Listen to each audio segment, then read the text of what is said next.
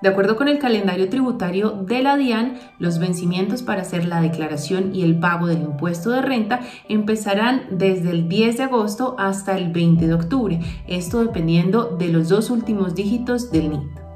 Cabe mencionar que la DIAN ha dispuesto de un módulo en su página web que se llama Hágalo usted mismo, a través del cual los contribuyentes podrán realizar esta declaración online y de manera gratuita.